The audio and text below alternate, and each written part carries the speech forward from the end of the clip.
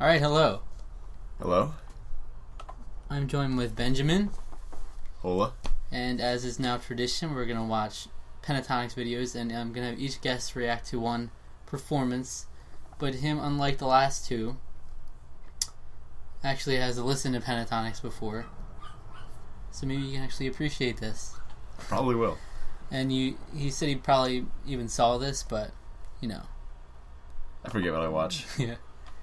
So his video killed the radio star by the Buggles. Three, two, one, boom. Putting their spin on a top 40 hit, Pentatonix failed to impress the judges. Uh, this is really exaggerated. Didn't quite work for me. This is like early, early. Was abandoned in making that choice. That was the first time that we had gotten some heavier criticism. They exaggerated, like they failed to impress the judges. They had like one tiny criticism. This week we're doing Believe by Cher. It's definitely older. They look uh, younger than they do in their other videos. comment we noticed Yeah. with our It like arrangement is that 2011. been struggling Yeah. with tempo.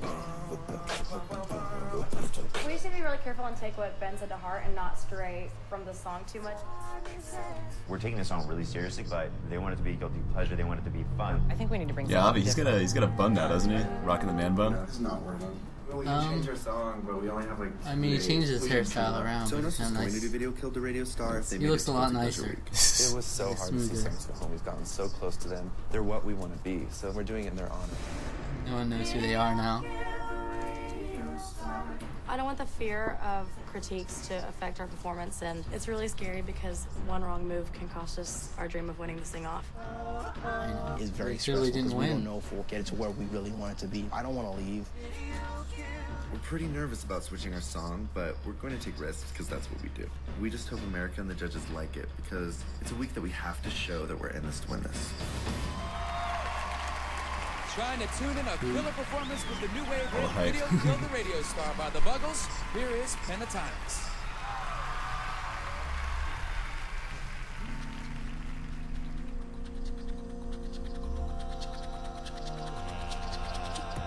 I heard you on the wireless back in 52.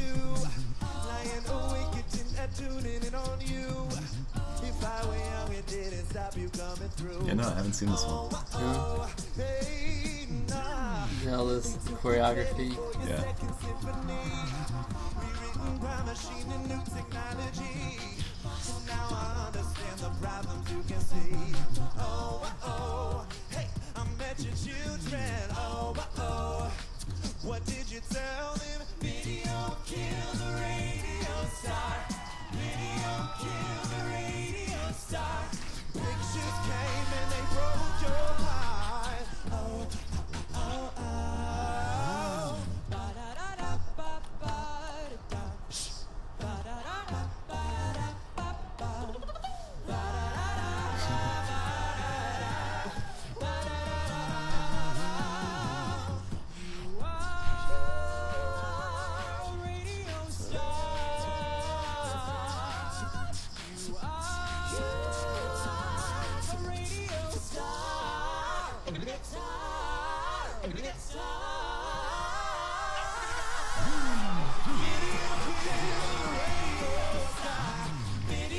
kill the radio star.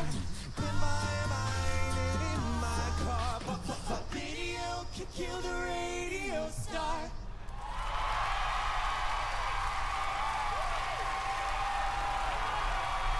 The choreography kind of worked with it this time. Yeah. Fan of the- the outfits, like the uh, yeah, the yeah, neon. like neon black. Most, of the, sick. most of the time, it's like really cheesy though. The Yeah. choreography. They don't, they don't do anything like that anymore. Let's go ahead and go to the It's just Sarah. Oh, let's see here. These are the same judges that critiqued them heavily. Heavily. Yeah, yeah. It was like one tiny thing he said. That was awesome.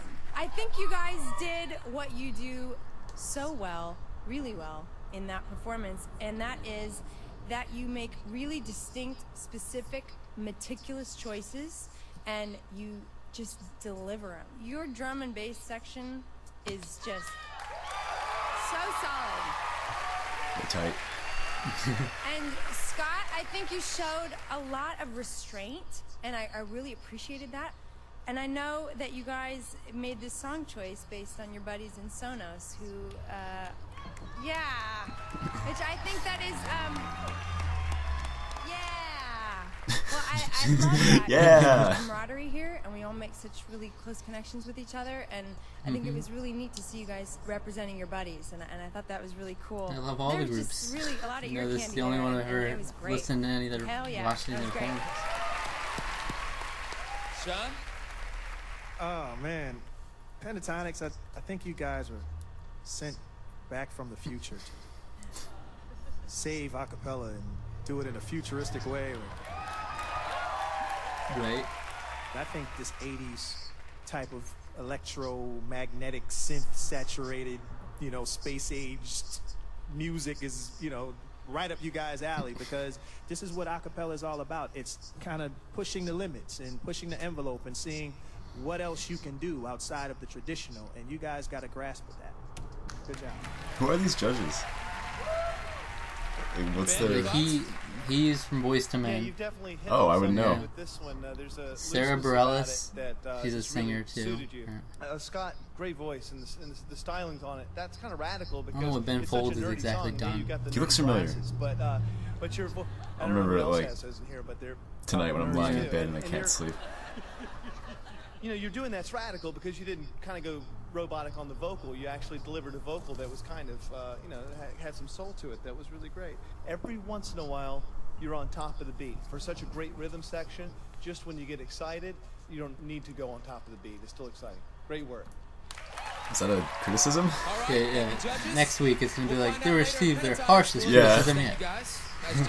You're like, oh, you guys were sometimes a little bit forward of the beat. Button Whoops. up your tux and get ready for a junior prom classic. Roxette, listen to your heart. The guilty Oh, pleasures listen just keep to on your coming oh. heart. on the sing off.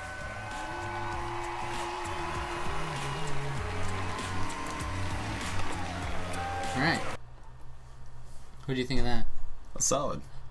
It was a good song. I'm a fan. Yeah, it's pretty solid. I mean, have you? So you've seen the sing off before their performances, or no? Yeah, I have seen sing off performances by them, just not this one. And um, to be honest, I'm not a huge fan of the song "Video Killed the Radio Star." Yeah. Like, it's all right, but like, I feel like it kind of gets old by the time you're done it. But I, I like this performance. Maybe it was just because it was shorter, but Yeah. It's like they just keep they just keep getting better each week too. There's like a couple like bad eggs in there that like Hmm, people like are like aren't as good. There's like well actually the one most people point out is the last like the last performance they do without you. Um, because they were like all tired out by then, and it was, Oh, like, yeah, they basically imagine. put all their effort into like their last performance before that. And, Hmm. but yeah, Love Lockdown's the next one. That's a really good one they did. They had, I don't know. People are just really into, myself included, watching this thing off. Like, I don't know what it is. It's really corny, like, it's cheesy stuff, but it's also. yeah, they like, they the hype it up for TV and all. The roots, though. That's where it all began. More you know. True Pentatonix fan right here. Do you have all. Do you have 80 of their songs on your, downloaded? No, I don't. Although um, we did sing uh, some of their songs in uh, in choir a while back, so I'm, uh, I'm a fan of their work. You did? And Avi is one of my uh, my role models in singing. Oh, Avi is we awesome. We have a very similar vocal range. That's uh, not many people He's sing got an amazing such, uh, range. such bass. He's got like bass, but he has really good like high pitched parts too. Yeah, that's something I, I respect him a lot for as a as a bass singer, being able to sing that low and also sing high really well. Yeah. and On even his overtone singing is in, insane. Oh yeah. I Wish I could do that. I was thinking that too. I just watched that the other day when when he was doing it live.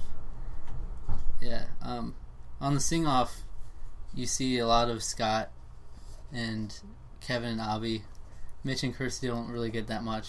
Mm. Like Mitch doesn't really come out of his bubble until afterwards, and he's Yeah, like he's well, one of the main like- people now. Yeah, they're kind of like the core, like mid-range singers that they're there for uh, support and all that stuff. So yeah, it was good to see them. Like, And then Scott, they I guess they had to they had to pick a lead or something for the sing off apparently, and so they made it Scott. That's why he's Mm. like the lead on most songs. Um, he's just got a, I guess all around better like good range to fit for most Yeah. songs. And then Kevin and Avi are noticeable. Like it's one of the most notable things if you're seeing it live. yeah, Is the the drum and bass, like they said. just because even that stuff that you're not used to seeing, on TV or like in in person with live performances, you're not really used to seeing. Oh, this guy is beatboxing for a, a Yeah. whole audience, or this guy's doing the bass part. You're used to hearing instruments do that, and they kind of get drowned out. Uh, so then hearing a, a person do that, it's a it's a good surprise. It's crazy because people, whenever I see them watch like Pentatonix for the first time, they'll be like, "Oh, it's I wonder what their live concerts are like. They have to have like instruments or something, right?" But no, Nah. no it's just like the way like vi- uh, microphone volume is like everything for them because there's like a couple live venues they've been at where it's like they make Avi too low because he has to be like really loud on the microphone for people to be able to hear him. Yeah, that's true. I, I can uh, say from personal experience, like the lower you sing, it, it gets hard to keep up a, a good volume. Yeah, and it's like a lot of interviews. They'll just be like across, across from each other, and they'll be like, "Can you do like the lowest note you can do?" And he's like, "You won't be able to hear it from over there." Exactly. Yeah. But yeah, that's that's the fourth performance of the sing off. Thank you for watching.